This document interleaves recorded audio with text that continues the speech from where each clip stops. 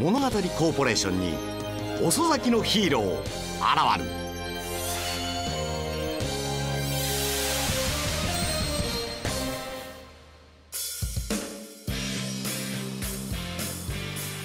二代目丸源高崎店。店長小田裕二。かつて彼はなりきれない男だった。入社6年目にしてようやくつかみ取った店長の座。幾度も挫折しある時はドロップアウトしそうになりながらもどん底から這い上がってここまで来た。ある意味不屈の男。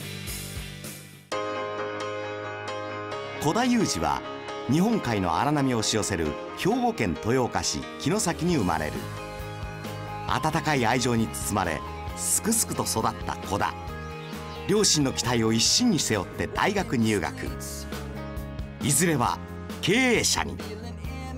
それが夢。そして就職活動。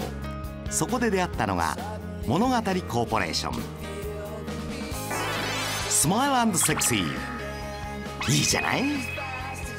最初の講習の時に3年間で最多値店長になるって聞いてたんで、まあ、最多値最多値店長になってそのまま本社にボンボンで上がっちゃうっていうその時はこう自分にすごい自信があったんで できるんじゃないかなっていうふうに。よっしゃやるぞしかし小田が考えているほど現実は甘くはなかった。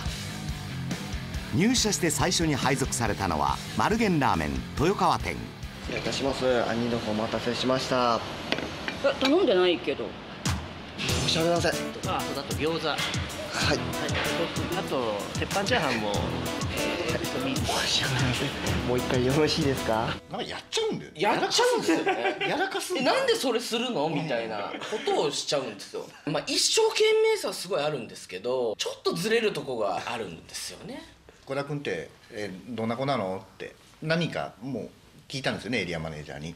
そしたら「いいやつ。一生懸命」しかないんですよ。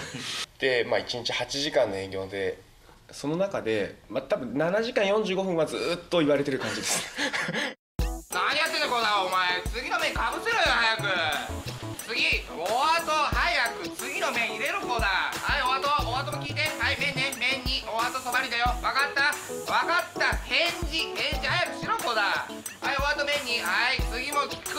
早く次のオーダーも入れて。いや普通1回言えばできることを多分5回10回何回も本当に些細なことのミスを連続してまあ僕も怒ってましたし周りのスタッフからもちょっと大丈夫なのっていう感じで見られてました。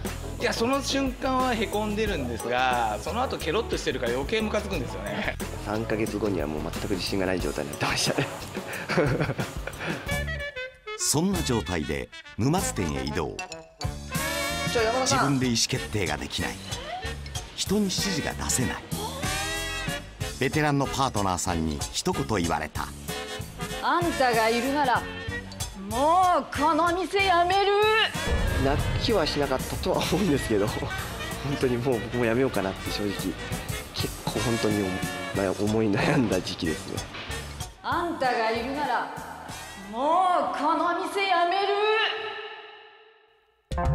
その後三河安城今伊勢。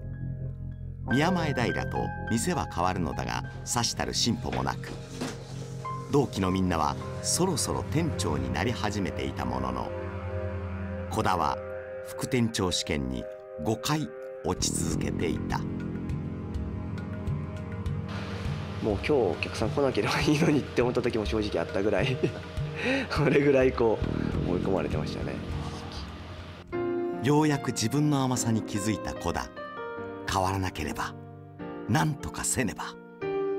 こう小林会長の言ってた意思決定っていうやつができてなかったんだなってすごい自分で思ってて人に何か言えないっていうのも全部踏まえて結局なんかこう自分のことじゃないみたいに思ってたりとかなんとか副店長試験に合格した小田に大きなチャンスが巡ってきた。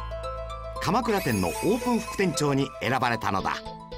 まあ彼にもそうは言ってもあのリーダーシップをちゃんと取らせなきゃいけないと思って進展をやってもらおうと思って。あのじゃあそこで頑張ってって。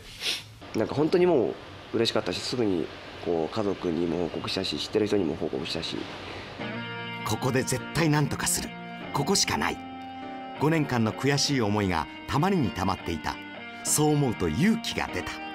小田は無我夢中だった。ここでできなかったらもう無理だなっていう思いがあったんでそこで何も変わらなかったらやめてたんじゃないかなって。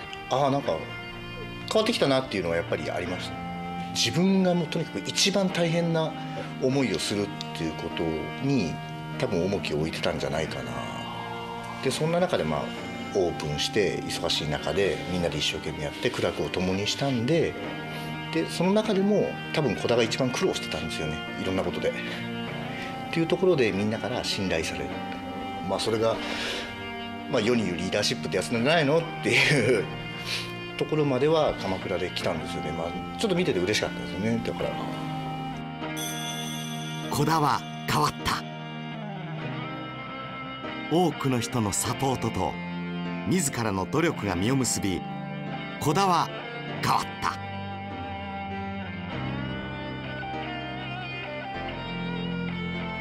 そして2012年8月高崎店店長就任。よ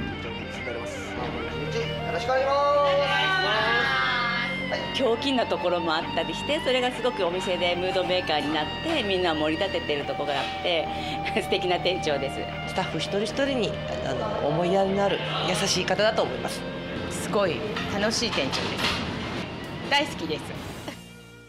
まあ僕こう6年間でこうまあ本当にすごい数の多分失敗をしてきたと思うんですけどこうまあでもそのおかげでいろんなこと起こるんですけどまあある意味こう、まあ、冷静というか あそれ経験したことある。っていうのが、えー、と僕今の自分の強みだってすごい思ってるんで。店長の経験談を自分にその教えてくれる。で自分がそれをもとに変えていくっていう意識が持てるっていう形で。数々の方に迷惑がいたと思うんですけどもでもそれでまあちゃんと成長してあのくれるっていうのは多分みんなに対しての恩返しかなと思いましたね。まああのまあ、腹立つことは当然ありましたしあのもういっそこからもうずっこけましたけど、えーまあ、正直大好きですね。まあ、99失敗しても最後の1がもう大成功だったらもうそれはもう大成功でいいんじゃないかなっていいやつですそこだけは多分変わってないんじゃないかなだから今人もついてきてますし苦労してる分周りのことも分かってるんじゃないですかね。まあ僕と同じような感じですごい遠回りしてる人とかって絶対僕も多分確かにいると思うんで自分の今の現状をああダメだなって思わないことが大事だなって思います。高崎で盛り上げていきます頑張るぞここに一人のヒーローが生まれた。その名も小田裕二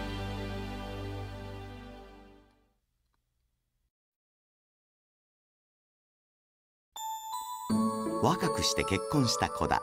奥さんは入社した頃から子だを励まし支え続けてきた。これからも一家の大黒柱としてよろしくお願いします。愛してます。